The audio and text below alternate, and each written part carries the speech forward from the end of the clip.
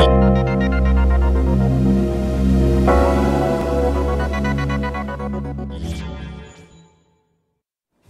い、どうも、今週も始まりました。クラブレタイのニコニコ生放送。どうも、はじめましての方も、そうじゃない方も、高橋です。こんばんは。こんばんは、こんにちはやね。えー、先週ちょっと出れなかったんですが、ちょっとね、今週はバリッと1時間まるっと出ようかなと、えー、思っております。えー、今週はね、えー、いろんなゲストも登場するんで、ぜひぜひお楽しみにしていてください。それでは、それでは、早速ですが、オープニングをどうぞ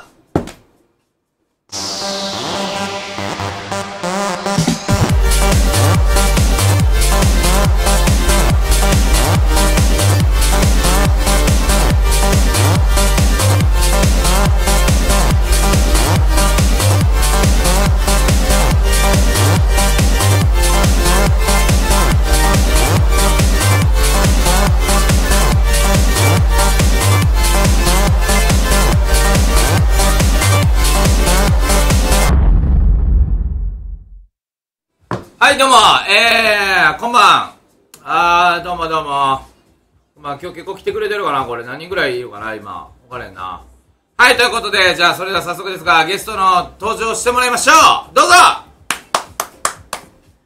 はい、おはようございます。ーい。おはようございます。はーい。はーい、今日はこんな感じです。えー、じゃあね、あのー、自己紹介してもらおうかな。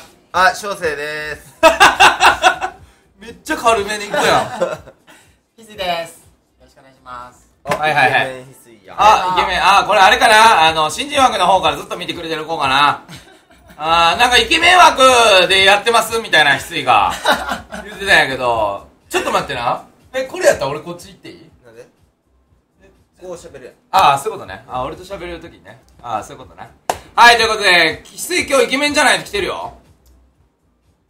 ありがとうございます。喋るやん。イケメンイコールこう喋らんみたいな。あー、なんかちょっとイラッとしたな、今な。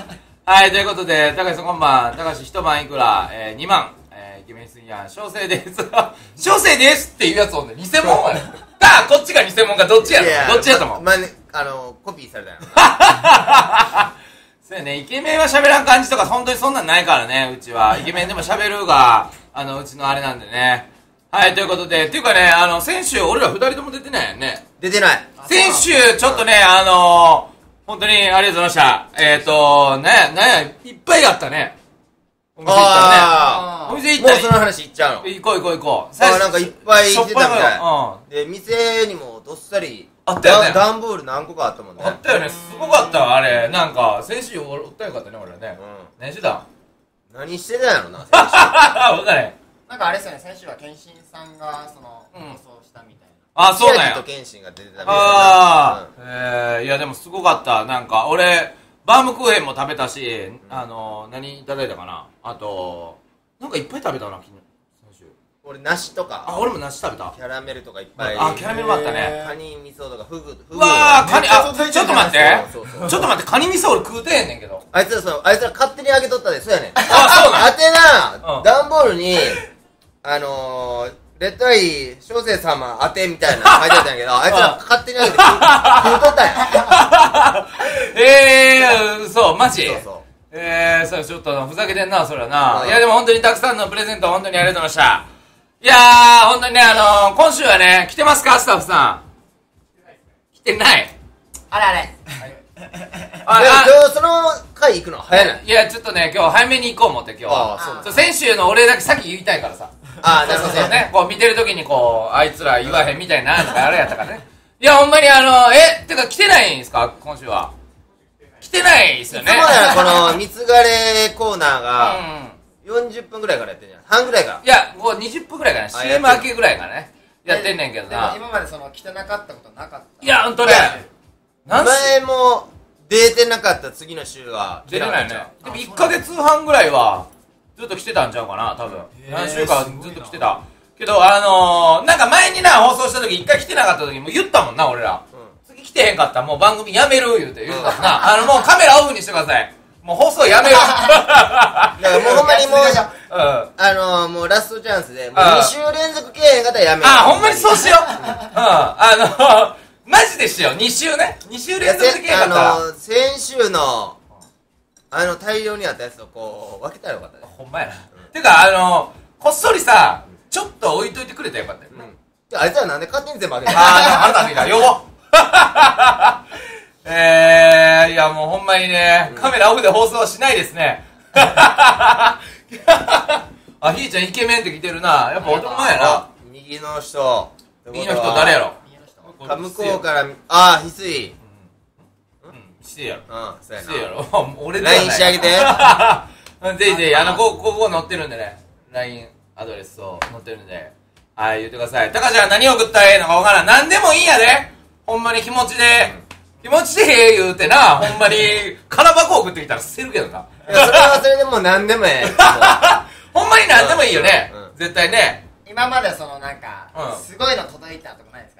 すごいの。すごいおかしいね。っていうかね、すごいのっていうか、もう大体物届くこと自体がすごいから。ああ何やろ。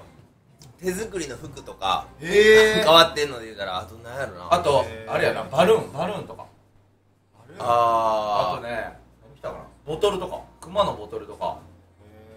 あいやな。カニとか。カニ来たね。あーそう、でもそのカニを引っ張って引っ張って、いまだにカニ味噌とかカニパンとか送ってくる。から。なあ、あれはまあまあ衝撃やったんちゃう？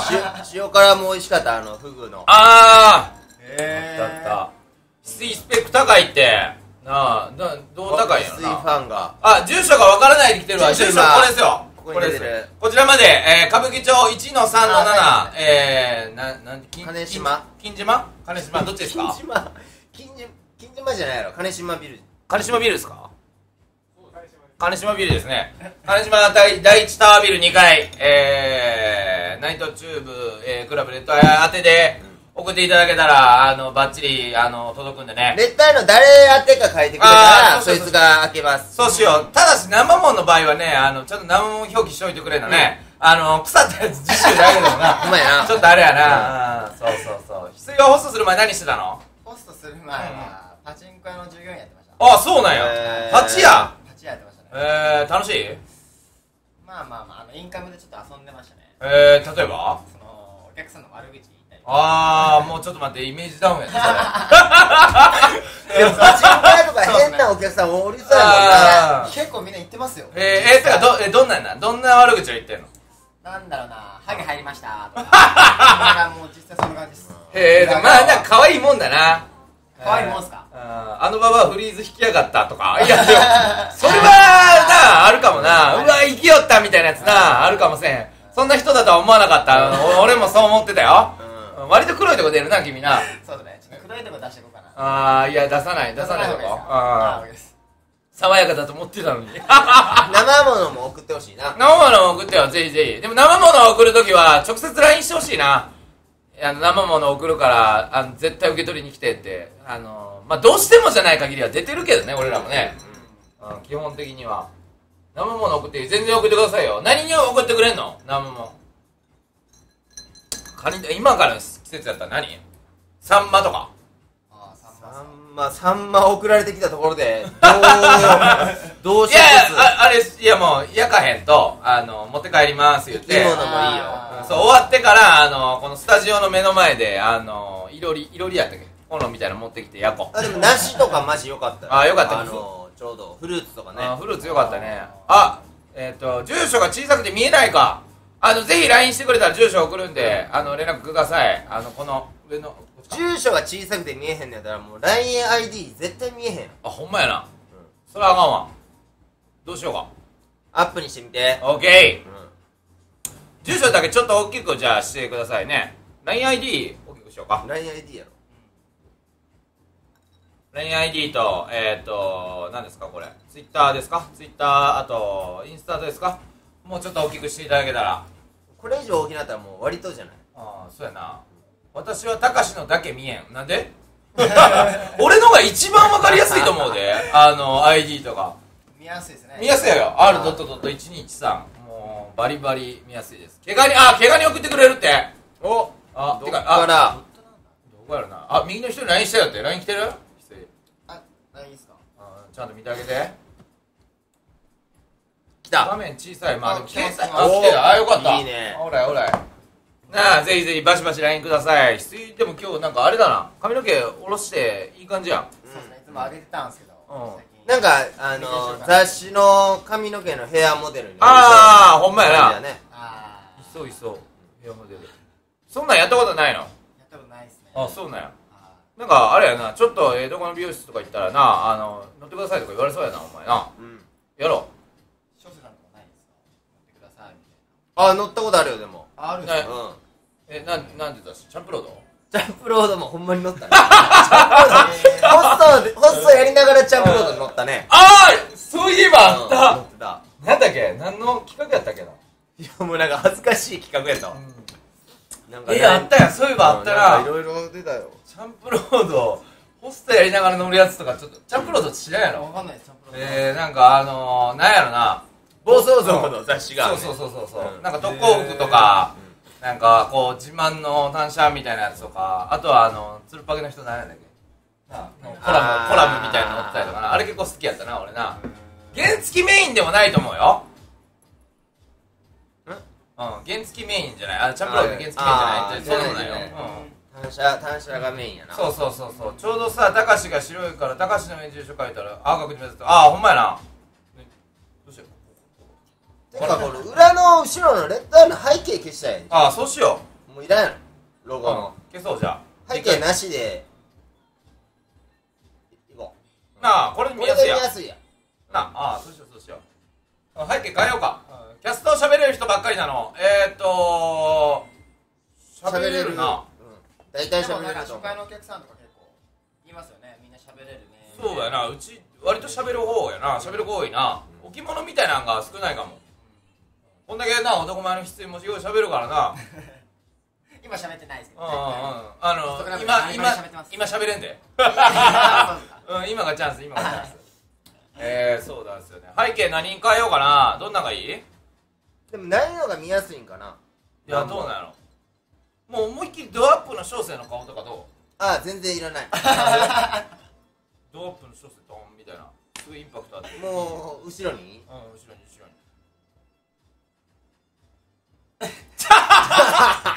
これ今今チャラッとできへんのかな？いいいいいい。いほんまにうん。まなんかちょっといいやドアいいいいップドアップ小生もうフリーズしてたやん。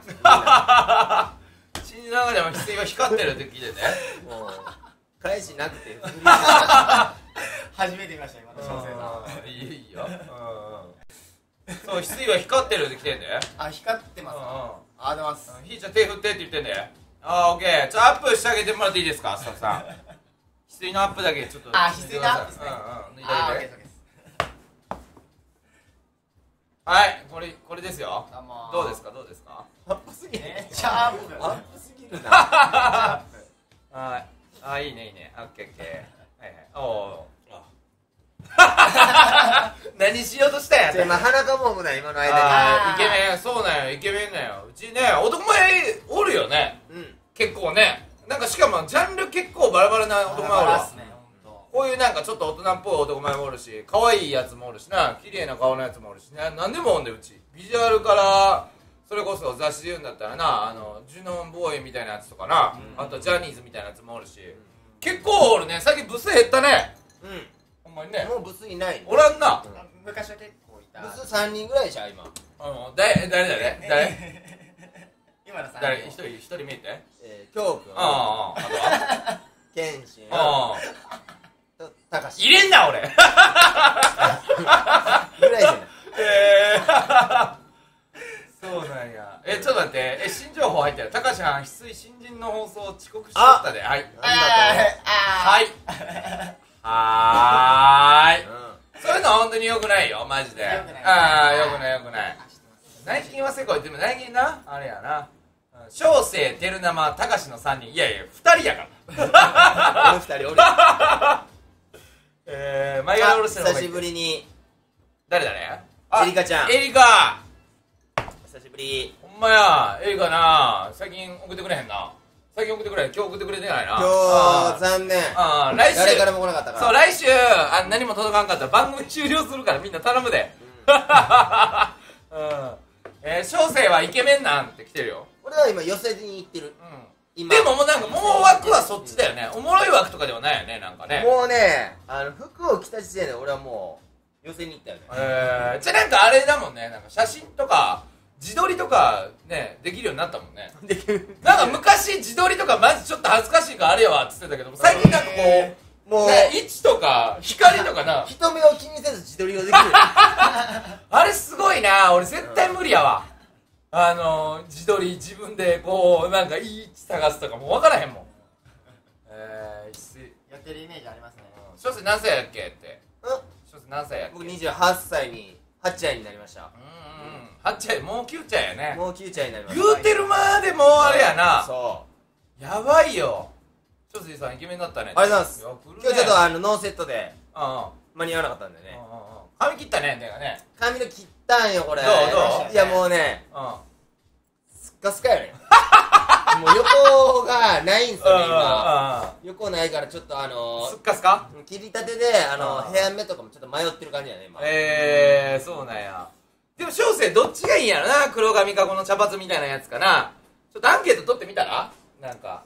黒髪をしもう覚えてないんじゃない？あ覚えてないんかな？あ覚えてるか。茶髪がいいって書いてあるねあどっちやろ？ちょっとアンケートだけじゃあ取ってみてもらっていいですか？小生は黒髪がいいか、えー、茶髪がいいか、えー、むしろむしろ、えー、金髪がいいか。これ取ろう。なと 取ってあのアンケート多いやつに染めよう。なあ。あいやノーセットでも素敵あやんって来てんであやっぱこうあありがとう？前からの人はうん。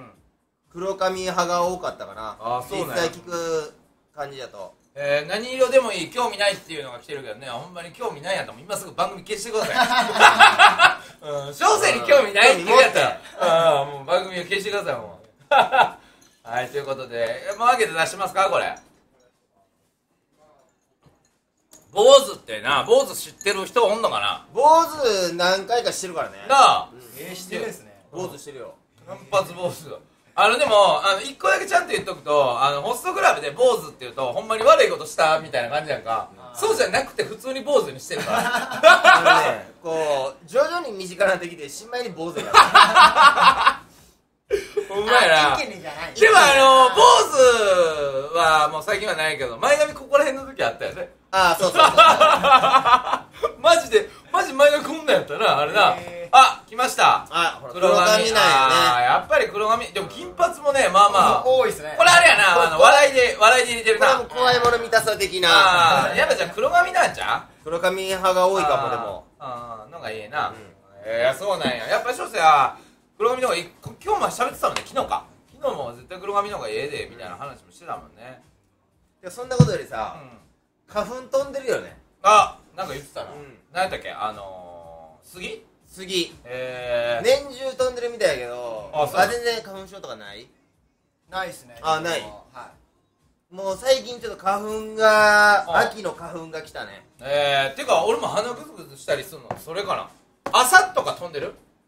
朝？朝。いやもう終わらん。ずっと飛んでる。あそうなんや。じゃあ別にあれは。でも俺2年前ぐらいに発症したかあらなんかそれ言ってたよね、うんマジででもなんか花粉症の人ってあれなんやろ？熱とか出たりすんだよ。いえそうなんですか？いやなんかひどい人はなんかほんまに寝込んで回る人とかもおるみたいだけど。あ今朝ひどかった。そうなんや。俺もくしゃみ出てたよ。あやっぱひどいひどいよね。えー、花粉症っていますか？もうな見てる人。えー、花粉症ひどかった熱はそうなんや。でもかすそんなんかあれだよね。慢性的にある病気みたいなやつってほんと辛いよいやね辛い。片頭痛とうか、あんともう今帰りたいもん。おじゃあ帰る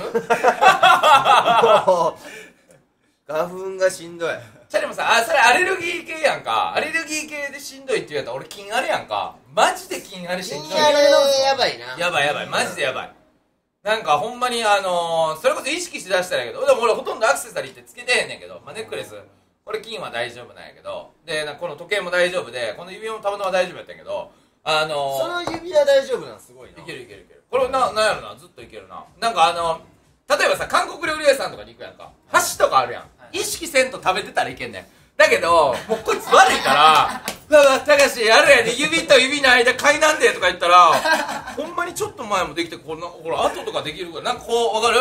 指の間とかマジで買いなってくる。アレルギー系はでもちょっとあるかも。なんかその花粉症とかでもちょっと今日マシというかこう忘れてる時とか目の前の人がすごい花粉症の症状とか出だしたらあれ？あれ？あれ？ちょっと待って 俺も鼻水出てきたんだよな。んかそう意識でちょっと症状出たりするかも。えー、いやでもそうなんやって。マジであれな。だからあの箸とかマジできついもんな。しかも韓国料理屋であのマッコリとか飲む時のあのあれあるやん韓国料理やな。その多いもんな。器とあともうちょっと症状出だしてきたらあの夜間がもうやばいって思い出したらもうアウトや あのもう喉とかかゆなってくんの俺もああそうそうそうもうでそうそうもう出出だしたらもう意識しだしたらもうあかん。そうだからアレルギーとかきついねみんなね。じゃあ画面の前で鼻水出てきたのは小生のせいだ。ああ映った。あーいいやん。やっぱその話すると、うん。やっぱ徐々にこくんねや。うくんも俺今花粉症の話自分でしたからうんムズムズな。んかしてきた目かゆなってきたもん。気づかなかったらえー、あーそうなんや。ちょっとぜひ。まあまあまあどうなんやろな。いや気づくけどな。食べ物のそのアレルギーの人とか気づかないでこう食べちゃって。あーでもあるっていうね。でもあまあまあそれはあるの食べ物でアレルギー出るっていうのもなあれ体調がどうこうっていうのもあるらしいからな。あそうっていうのとあと自分で自覚しながら食べるとやっぱ体は拒否反応を起こすっていうやん。そうそうそう。そんなんがあるみたいですよ。はいということでなんかなんかわけわからん豆知識も飛び出したところで、うん。それではね一旦時間の方なんで一旦 CM の方どうぞ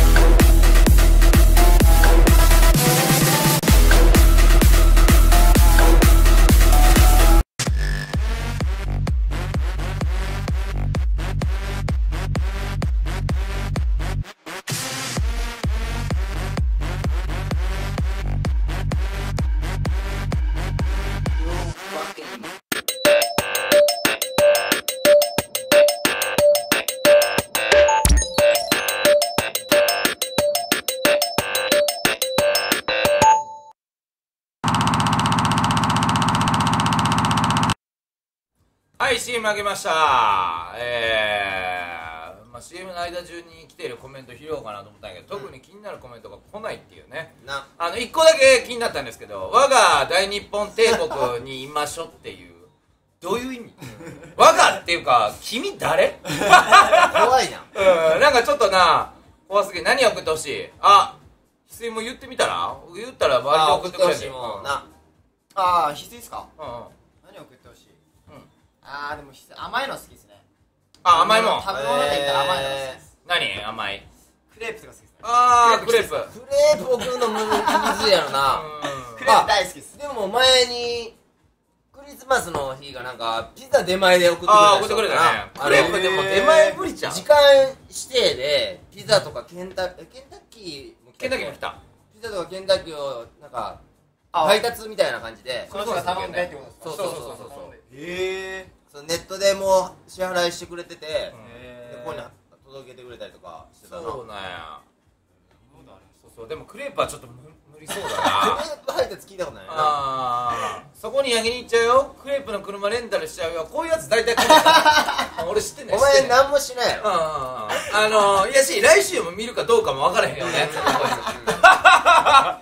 うん。料金は払ってねって。お前が払ええー、ななんかないの？クレープ以外。クレープやったら絶対けえへんから。あでもケーキとかも好きですね。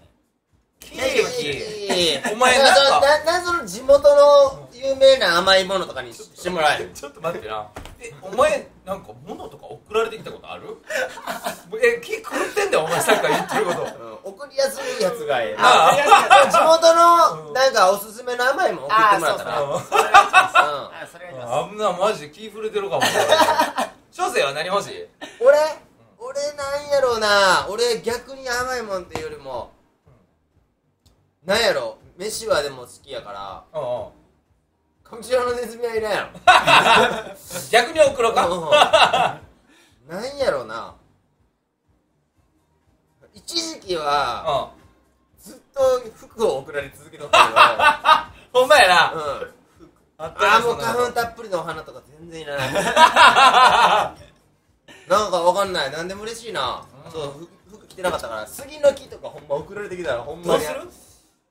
いや俺多分やばいと思うよ。花粉とかをさなんかないんかなこのパックみたいなんでささ。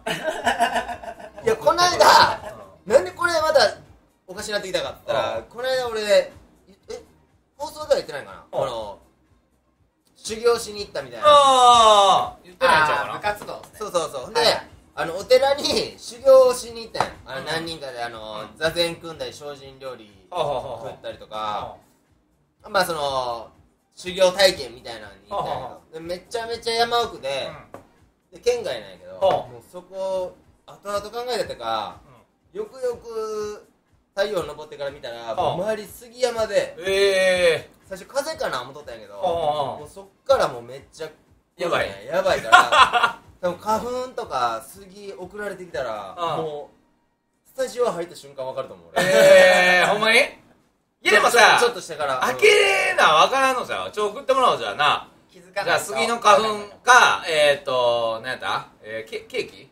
ケーキですね。じゃあ甘いもんか。甘甘いもんぜひ送ってもらおう。な杉の花粉。杉花粉をどうすんの、うん。開けて。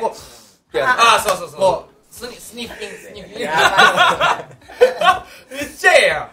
てでもさあのあれなんちゃうの？あの予防接種と一緒でさもうそれガチで言ってもうたらもう治るみたいなのないんかな？あるある。それ2年間、ベロの下にその花粉のアレルギーのやつを目薬みたいなやつで毎日垂らしていくのそれで免疫つけるみたいな治療法がある。ええー、ああそうなんなんでやらへんの？2年もいける？ああそうか。2, 2年間毎毎日日ってこと？毎え日続けなあかん。ついっすね。えやば。そええ高橋さんはないんですか？ー、俺はう金属アレルギーあそう。あーそうね。金属金属物とか。送ってくれたら。鉄粉とか。俺花粉こうやってするんだ。だから鉄粉こう。ちょっと待って。マジで死ぬと思うよ鉄粉は。がうん。こうなんこのまぶあの内側にこう。いやいややばいやばいやばいやばいやばいやばい。やばいやばいじゃあでもなんかさあの俺前現場仕事やってたんだけど現場仕事やってた時に鉄の工場で足場を作る仕事をしてたのね俺、はい鉄の工場の足場ってこう上にあるわけやんか。で鉄をこう流したりしてるからもう鉄粉まみれなのね俺。だからもう体中おかしなことななってるのを2年ぐらい続けたんやけど金属アレルギー治らへんから俺はもう送らない。よ いや俺も送らなくていいよ。俺だって2年やったもん鉄粉まみれのとこで、うん、だからもう治らへん、うん、やめやめよう、鼻焼いたらあ鼻の粘膜ね。ああそうなんや、えー、一発なんやでもなんかさ注射ある？言うてたやん。うん。花粉症の、うん。あれやばいんやろ？打ったら。あれ体に良くないやつね。ステロイドやから。なんかあれやな一生そうなるんやろ一生クソみたいな体になるっていう言うやん。なんやなんでか。もう売っとんぞ俺。そうなんかあれやろ？なんかもう免疫がもう戻らへんように。なんねやろそれ。もうでも2回ぐらい行ってえー、もうやばいでもうクソみたいな体になっとんで。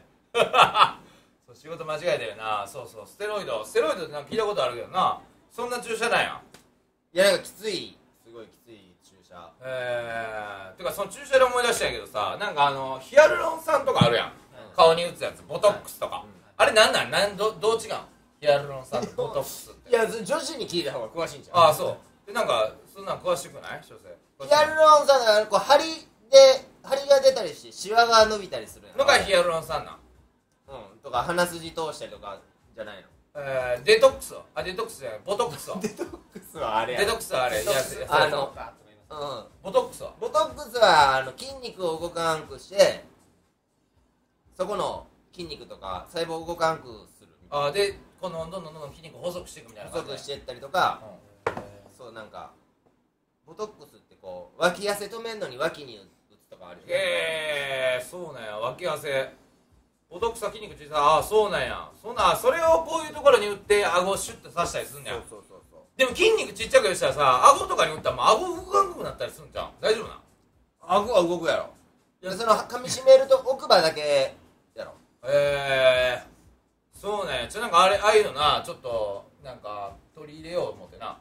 高橋が？いや俺高橋もあのなんちゃらクリニックの院長みたいなうん。感じでバンバン行きまくった あっていうかねなんか自分が試していいやつをこう従業員に勧めるっていうな。っていうか俺この間、うんある女の子からいきなり送られてきてダイエットしてるっていう話をしててその女の子に、そしたらなんかダイエット順調みたいに言われて半年な1年ぐらい前かな。もう俺炭水一切抜いてた時期あったやんか、そんぐらいのそうそう時期えのこう連絡取ってた子で久々みたいな感じで来て、もう痩せたみたいな。わリバウンドしてもうて今ダイエットしてるわって言ったらもう続かへんからあんた高須クリニックのなんだかミケランジェロボディみたいなやつ知ってる？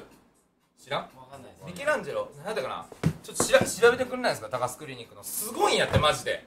あの人それやったんやけど脂肪をあの普通脂肪吸引ってこの中の脂肪をこう注射器みたいなの抜くみたいなやつやけど皮下脂肪みたいなのも抜けんねん。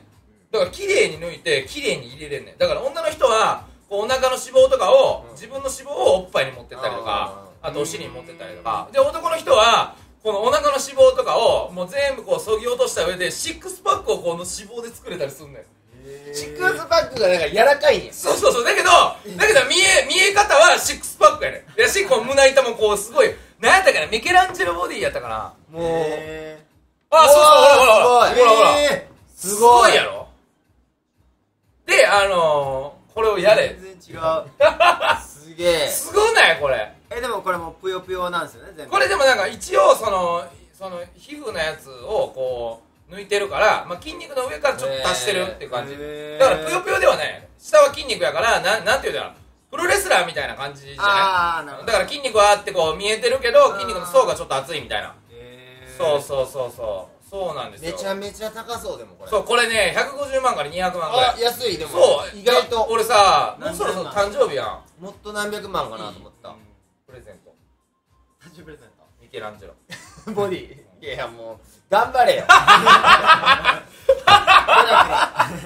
そうそうこれねすごい画期的やろ。これ脂肪見てそうなんか見たよね。じゃあ今も最近高橋ダイエットをする言うてちょっと何週間か前からダイエット宣言してダイエットしてんねんけど、あのー、今日さっき久々に1ヶ月ぶりぐらいに会うたんかな？そうやね。1ヶ月ぶりぐらいに会う子がおって会った子がおってその子がパッと高橋のこと見てうん。もう速攻で「え高橋太った?」って。ふざけてるよな今ダイエットしてんのに。いやいやでもマジでダイエットしてる言うたら時うん。絶対太ってんもんいやマジ？じゃあてかあれやん太ってるってもうみんなから言われるからダイエットするわけやん。ダイエット多分意識してこう飯とか運動とか気をつけてないんだけどうん。今日まあその子とこう飯食うみたいなのがあってあまあコーヒー飲んだん。やうん。飲んどったん。やほんならもう高橋コーヒーに砂糖爆入れやったよ いや 多分爆そういうとこからストレスこう出てんねんああなんかな宣言とかしてるからそんなん出んのかな、もより多めに砂糖いっとったよ。いや ほんま、うん、じゃああれやねあのー、あれはな、えーやめようと思ったけど言っていい？これ多分デブの発言だけど、あれはスプーンがちっちゃいんや。あーなんかいい？デブあるある俺考えようかな。絶対それあるある考えたらもうなんか徐々に太っていく。でもデブあるある考えよう。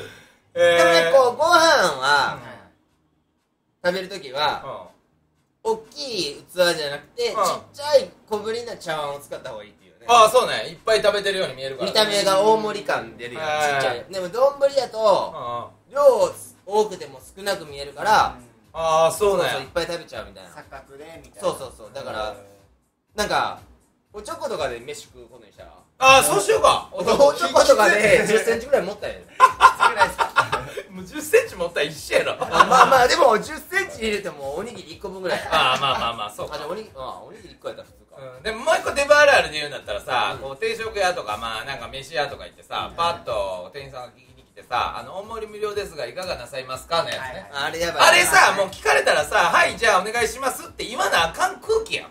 俺は別に全然そうい食べたないねんで、うん。大盛りにしたくはないしいらないんだけど「大盛りにしますか?」って向こうが善意で聞いてるわけやん、はいはい。しないなんて断るみたいなもんやろ。あれはでけへんわ。やしあれは大盛り無料の店ってうん。大盛りを無料にすることによって並盛りの人の量が絶対あちょっと少ないそうそうそうそうそうそう。それもだかある。あら並盛りで行くとこう損した気分になるからうん。うん大盛りで行ってうん。最悪残してもいいかなって思うけど食っちゃうよね。あー食っちゃう食っちゃう結局ね。そうね。あ庄司さんもそっち側。俺もそっち側やな。あともう一個あるある言っていいあの太ってるから筋肉をつけよう思ってあのやあの肉を食べるようにしてるのね。はい。でしかもねお肉でも油が入ってないようなこの肉を頼むようにしてるそう赤身の肉。赤身の肉はいっぱい食べてもいいって言われてるからあの頼むやんステーキ屋さんででパッてじゃあこれくださいって言って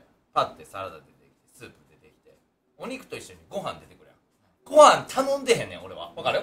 ご飯食べるつもりじゃないけど出てきてもうたかまあらセットでな。そう出てきてもうたから言うてもう爆食いしてまうみたいなあるあるやろ？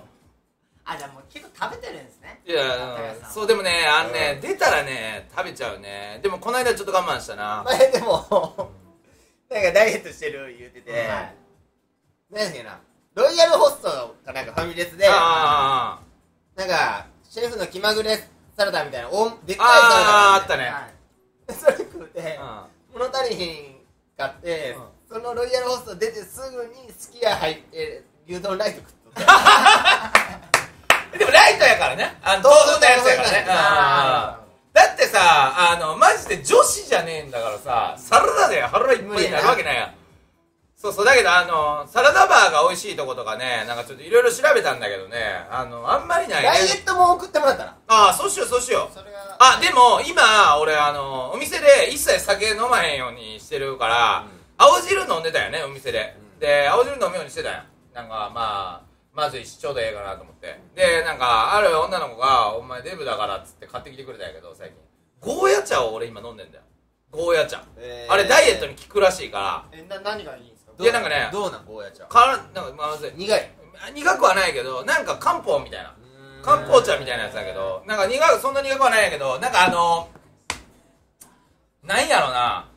なんかちょっと間違えたしょんべんみたいな匂いするなあれ。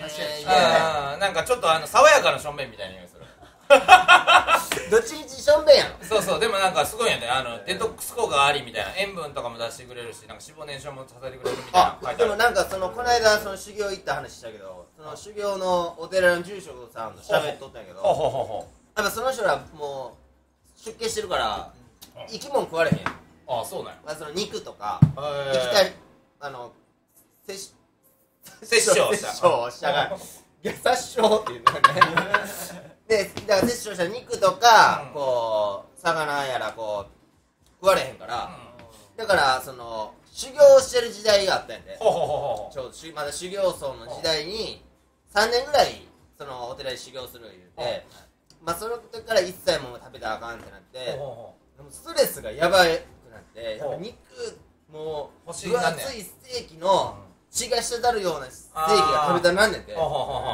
途中一人の修行僧とほお寺抜けて肉食おうってなったんやて。じゃあ正直に喋ってくれねんその人。な。でへー。肉食おうってなって肉食いに行ったんですよねみたいな。肉でレアですか？みたいなこう焼き加減どうしますかって聞かれた時にもうもちろんレアでってもうすぐ答えたら もうもう店の店員さんが う二人とも坊さん。やんだからえみたいな顔しててえ行くの？みたいな。んリアで行くの？言うて行くのってなってうん。もう無視してうん。行って食ったんやででも何年か1年ぐらいかな。もう精進料理を毎日食べてるわけやか。ほで3年はもう何年目か忘れたけどうん。ずーっと毎日精進料理やからもうほんまになんつうもうすす分かる？精進料理。うんわかるわかるわかる。何も一切もう卵もあかんらしいから。ああそうなんや。生命やから。そうそうそうそう。命系は全部あかんから野菜のみなんやけど。どで肉食うたらうん。もうその日の晩か次の日とかもう体が多分受け付けへんくなってたみたいでへえもうはもう吐いてもう止まらへんくなってそうなんやもう一日ずーっと吐いてもう体がもう絶不調になっておかしくなったへえ肉だからもう体そうそう体がもう肉とか受け付けへん体になっとったんやてああそうなんや。そんなんあんねや。だからもう高橋もそんぐらいいったらもう。えでも肉はいいんやで。だからじゃあ米でその結局日本人はさこのそれももともと肉とかいらん体質やんあそうなん？そうそうそう。欧米系と違うから。欧米か！いや欧米の話して 欧米じゃないよって言うてるいやだからあのもともと農耕の農作の方やった。だから肉とかほんまはいらん体やのに今食ってるからこう生活習慣病日本人は増えてきたとか言うやん。ああそうなんや。肌にじゃあ合ってないんですね。肉なええやん。肉肉なしちょっと嫌やなでも精進料理めっちゃうまかったよ。マジ？うん。でも一日だけやからやろ。いやでも結構好きかもそういうの。マジ？精進料理、なんかそっち系好きやうん毎日でもいけるかも。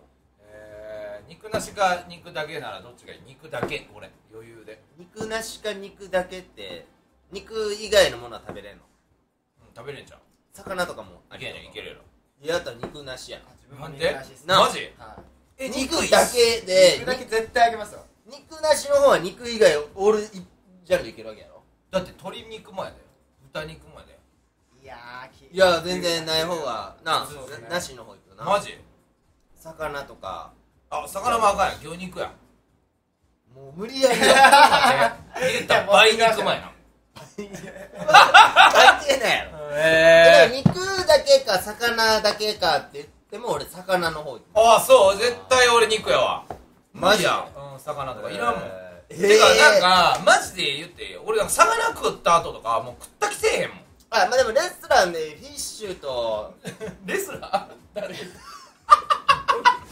ラーレストランレストランレストランね。レストランでうん肉料メインディッシュ肉か魚うん。どっち行きますかはうん。絶対肉いっちゃうね。そうやろ？そうやねん。そ,、まあ、それは魚食った気せえへんわほらでで魚ってんで。絶対嘘だもん。いやどっちかずっとって言われたら魚。いやだってど言ってよ。だってレストランで食いに行ってフィッシュはビーフでビーフってわけやろ？一生まあまあまあ、まあ、いやいやのになんかそう人生の選択では魚を選びますって。絶対嘘やん。いやいや。絶対嘘やんもう。絶対魚。絶対嘘。魚っすね。魚やんな。魚いやいやいやお前らもうマジでちょお前マジ肉食いに行かへんでほんまに。もうさっきのちょっと噛んだやつでレスラー引きずってるやつ多いよ。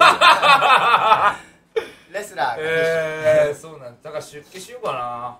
今日営業してますよバリバリ。します。はいぜひぜひ。うんそうなんやね。肉はいいって言うからね。体が物語ってやってる CM2 回目行った。うんまだ。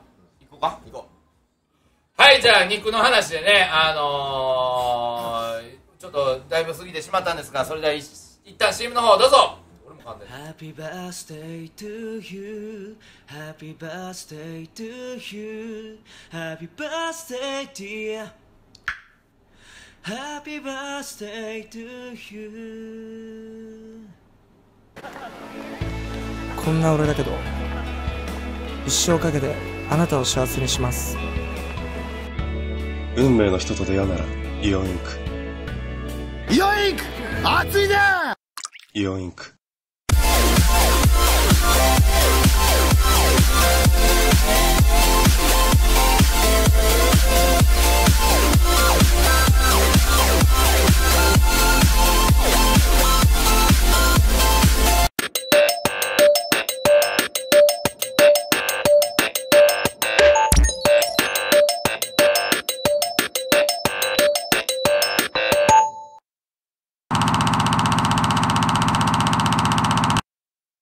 はい CM あげました、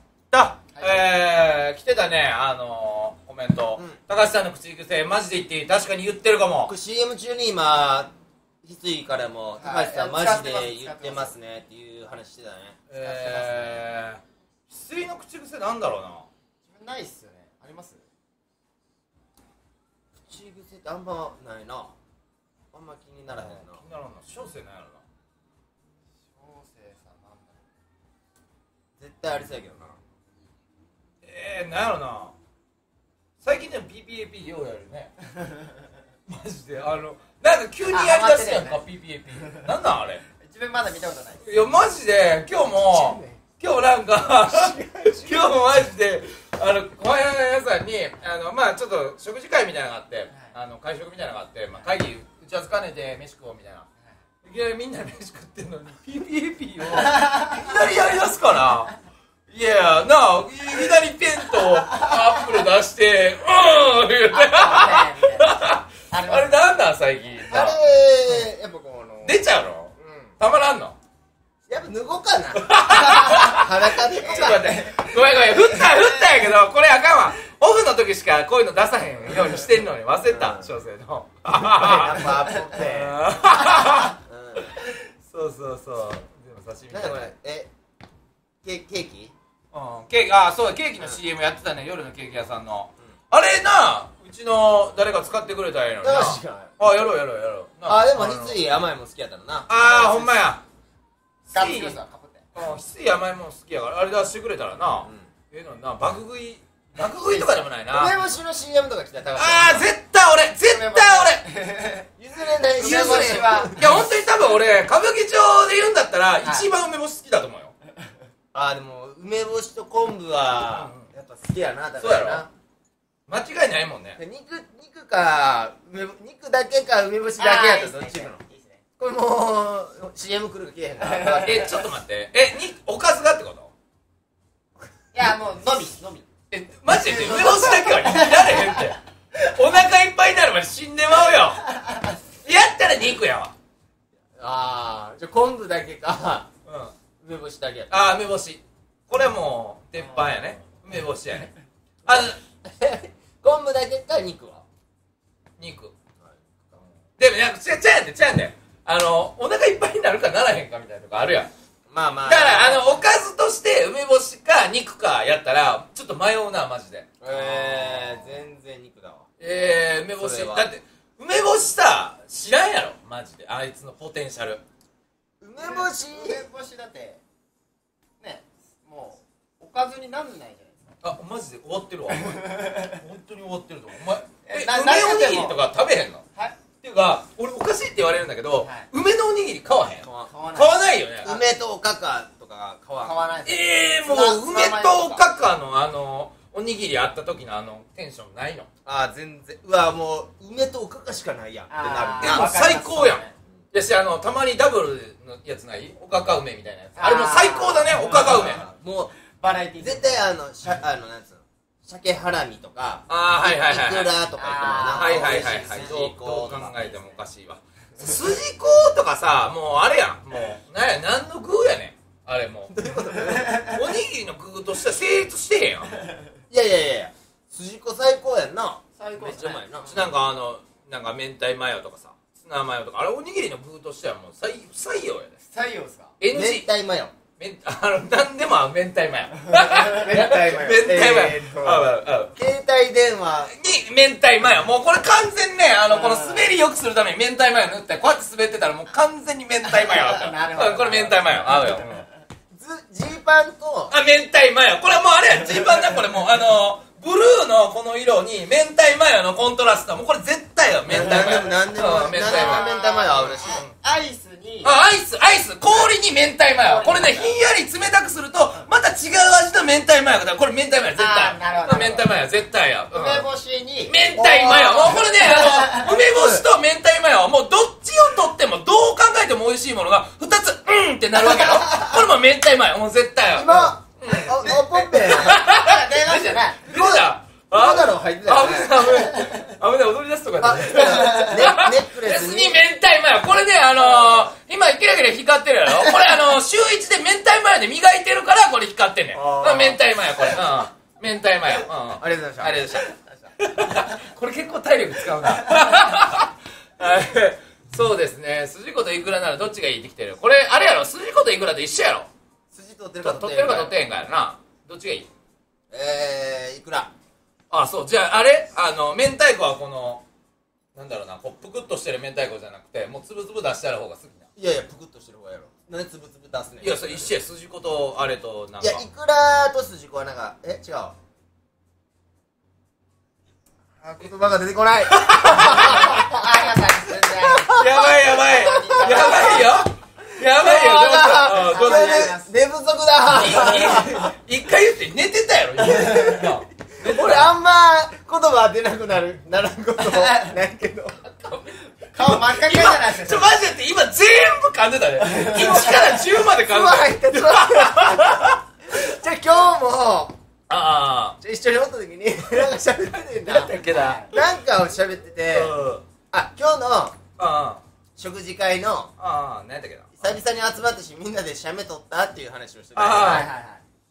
でも写メを撮ってこれごめんその時俺らのお問題あるいやいやややけどあのいや喋っとった言うたらその時あれだけど喋っとったらそこなってたオーライ言うて最後最後オーライ言ってもうもうマジでわけわからへんて朝からろれつが回らんくて。その時ないとなちょっと。ないめっちゃみんなないんかな。ないよね。疲れてそうそうそうないないです。ねいやないです。いやないろれつが回んない時は疲れがたまりす。ぎて疲労がたまるとほらおかしくなっていやほんまに番組中に症状出てもうて頭抱えてもうて全速出るか思ったわ疲れた今度数の子とワイン一緒に食べてみてなんでなんでなん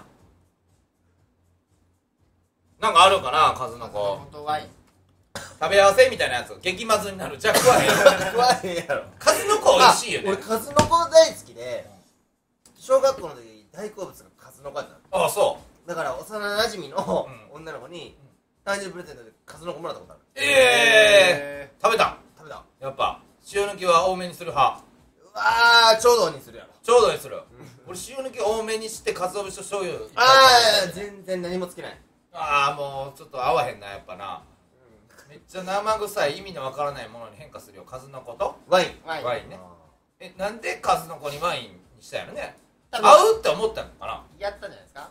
なんかこのプリンと醤油でウニああ意味わからない版あるあるがあるのかな？シリーズが。絶対美味しないやろな。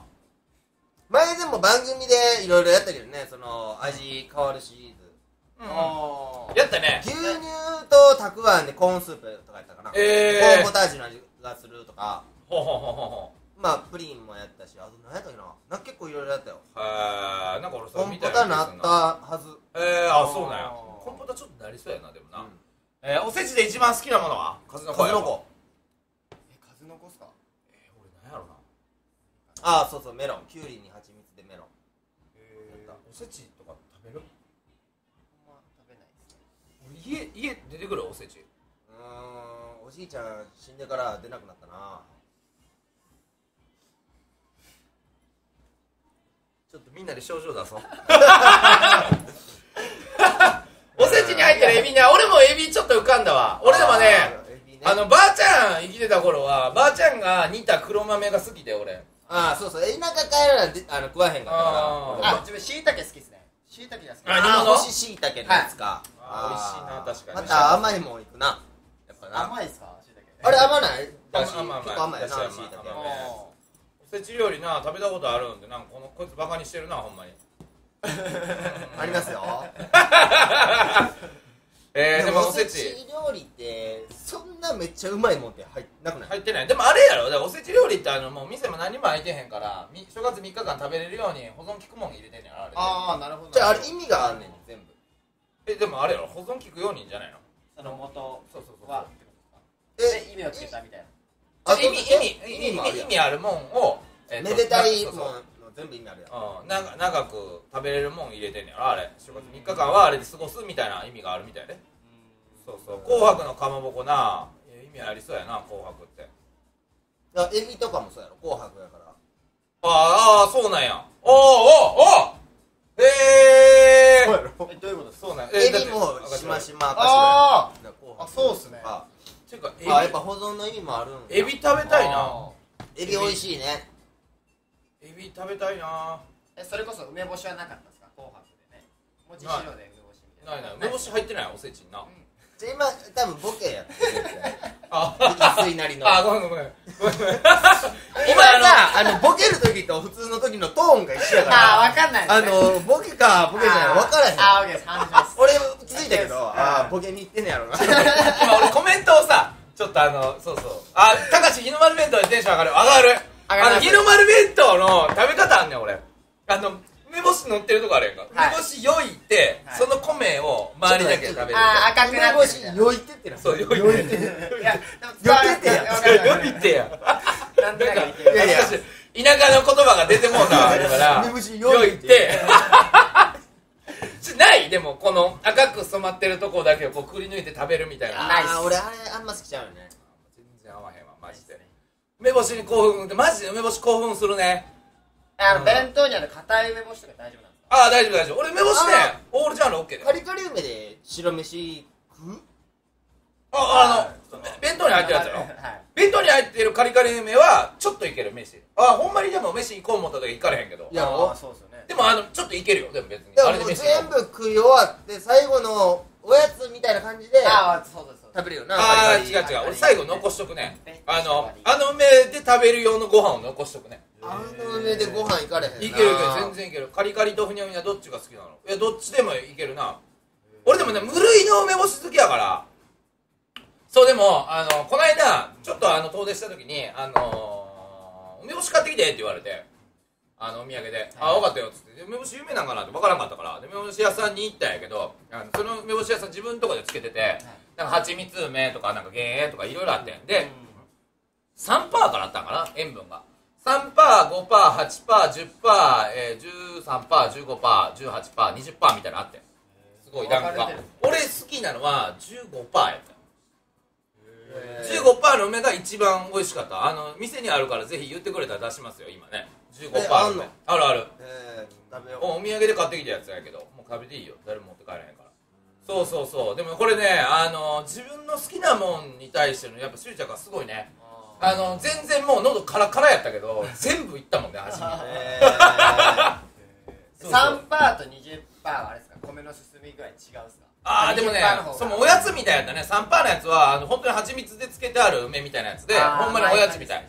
お菓子みたいな感じだね。あれはもう全然やわ。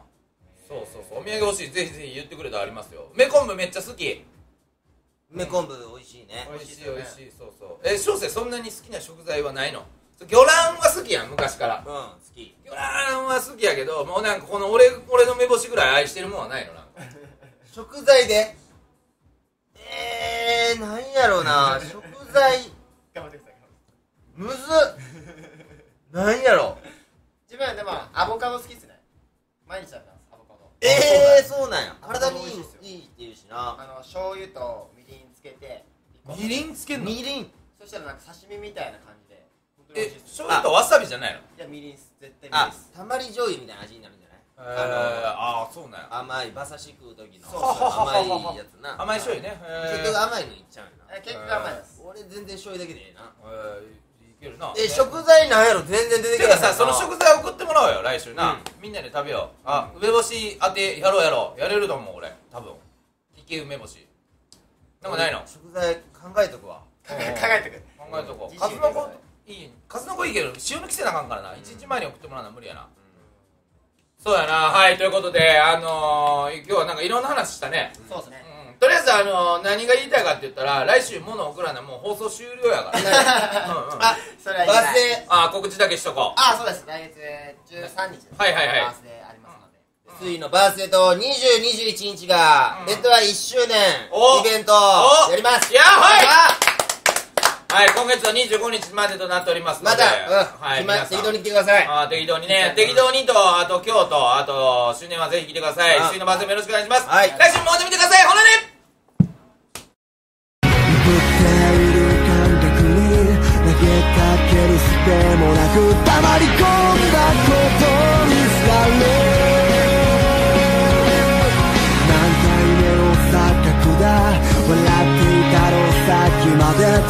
だ